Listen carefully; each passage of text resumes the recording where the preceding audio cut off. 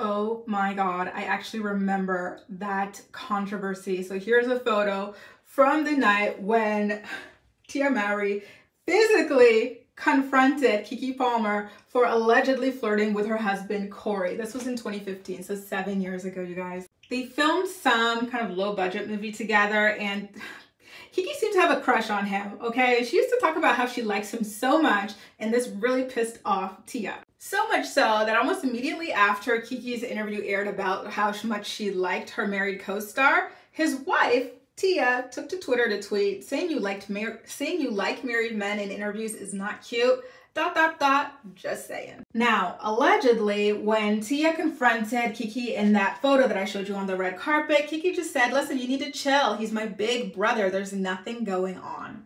Either way, this divorce is still super sad for me. I still can't believe it.